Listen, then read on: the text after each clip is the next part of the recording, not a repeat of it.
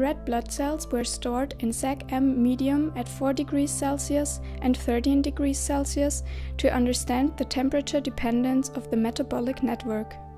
By visualizing time course metabolomics measurements of the cells, we can see that metabolic trends are conserved but accelerated with increasing temperature.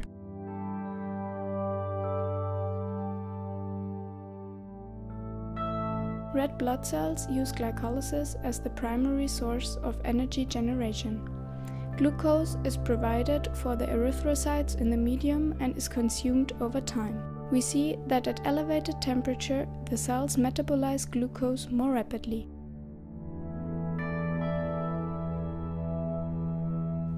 In 2016, hypoxanthine was identified as one of eight extracellular biomarkers of storage age. More recently, hypoxanthine levels have been shown to be correlated with limited post-transfusion recovery in patients, indicating that hypoxanthine may accumulate to toxic levels during storage.